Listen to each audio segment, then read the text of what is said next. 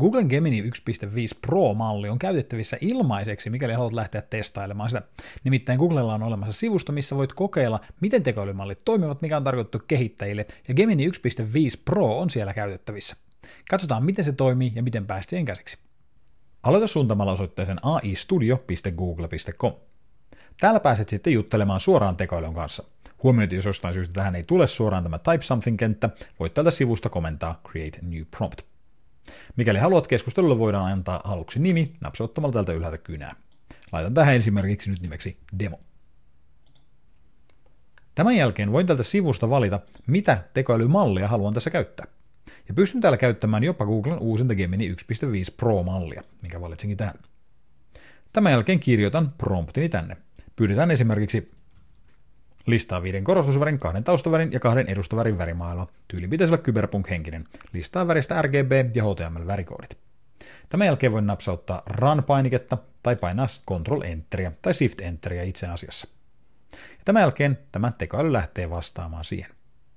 Näemme täällä koko ajan, miten kauan vastauksessa on mennyt, koska tämä on tarkoitettu oikeastaan työkaluksi, millä näitä tekoälyjä voisi testata omia erilaisia tekoälymallien kehittämisiä varten, joten tämä antaa tällaista re- relevanttia informaatiota. Tänne tulee myös muutamia lisäoptioita. Löydän esimerkiksi täältä siirtämisnapit, joilla voin vastauksia siirtää ylös ja alas. Löydän täältä kynänapin niiden muokkaukseen, rerun, jolla tämä voidaan ajaa uudestaan, sekä piste-piste-nappi, missä tämä voidaan deletoida, tai kopioida leikepöydälle muotoiluilla tai ilman. Voin tämän jälkeen pyytää muuta. Esimerkiksi ohjeistan tätä, että haluan tämän perusteella tuotettavan tyylioppaan, jossa kerrotaan näiden värien oikeaoppinen käyttö ja lisätään mukaan myös oikeat fontit. Painan sitten Ctrl Enterillä lähettääkseni tämän. Ja näemme tämän jälkeen, miten se lähtee nätisti vastaamaan tuon. Mutta tällä tavalla pystyn käyttämään Googlen malleja tätä kautta. Ylhäältä löytyy Save-nappi, millä voisin tallentaa näitä, mutta huomaan, että se on harmaana. Tämä liittyy siihen, että en ole antanut tälle pääsyä Google Driveen. Napsautan tältä sivusta Allow Drive Access, jolloin minulla avautuu oman välilehteen kirjautuminen Google-tiliin, jossa minun täytyy kirjautua sisään, mahdollisesti antaa salasanan ja muuta. Tämän jälkeen on hyvä huomata, että Studio pitää ladata uudestaan. Chattisi, mikä äsken olet tuossa tehnyt, menetetään. Kuitenkin, jos et lataa tätä uudestaan, tallennusoptio yleensä ei aktivoidu kunnolla.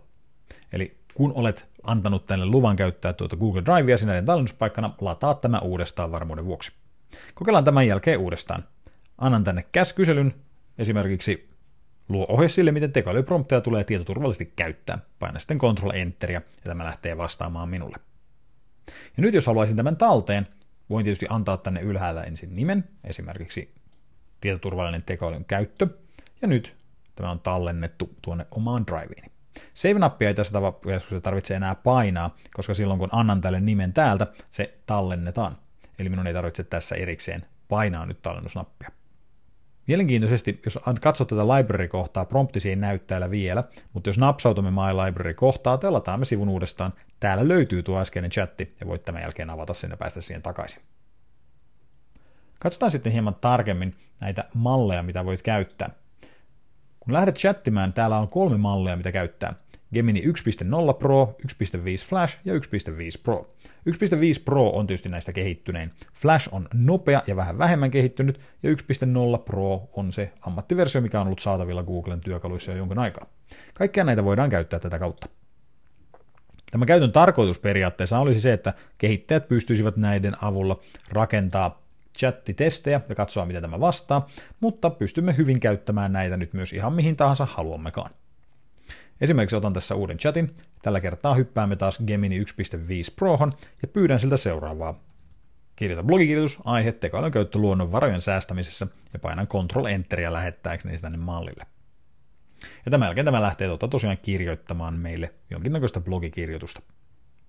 Kuten aina, tämä on oikea chatti, joten pystyn antamaan tänne lisäkomentoja sen jälkeen. Eli nyt kun tämä on blogikirjoituksen kirjoittanut, voin pyytää sitä tekemään siihen muutoksia. Esimerkiksi ohjeistan siihen Tee pidempi ja vähemmän listamainen, jonka jälkeen tämä lähtee tuottamaan meille parempaa tekstiä ainakin toivottavasti. Ja tässä huomaamme, että vähemmän listamainen siitä ainakin tuli, eli teksti ei tällä hetkellä ole enää yhtä luettelomainen kuin mitä tuossa ensimmäisessä esimerkissä. Ja näyttäisi tämä olevan kohtuullisen mittainenkin. Tällä tavalla kuitenkin voit käyttää AI Studion avulla ilmaiseksi Googlen näitä Gemini-mallien edistyneempiäkin versioita. Tule vain AI Studioon, lisää sinne pääsy tuohon omaan kirjastoosi, jotta voit tallentaa nämä. Se toki ei ole pakollista. Sisäänkirjautuminenhan on jo joka tapauksessa pakollista, joten tämä saattaa olla ihan järkevä lisä. Sen jälkeen lähde kirjoittelemaan tänne prompteja. Anna niille joko nimi tai painaa save-nappia täältä tallentaaksi sinne, jos haluat ottaa ne talteen. Ja muuten promptien käyttö ei ole täällä sen hankalampaa. Monissa testeissä tämä Gemini 1.5 Pro on päässyt rinta rinnan ChatGPT 4o kanssa, joten malli on erittäin vakavasti otettava ja varsin laadukas. Suomenkielisessä sisällössä sanoisin vielä, että GPT-4o on pikkusen parempi, mutta Gemini pystyy kyllä aikamoiseen. Ja nyt kun pystyt käyttämään tätä kautta sitä ilmaiseksi, pystyt sillä tekemään kaiken näköisiä juttuja. Toivottavasti tästä videosta oli hyötyä ja opit siitä jotain hyödyllistä tekoälystä.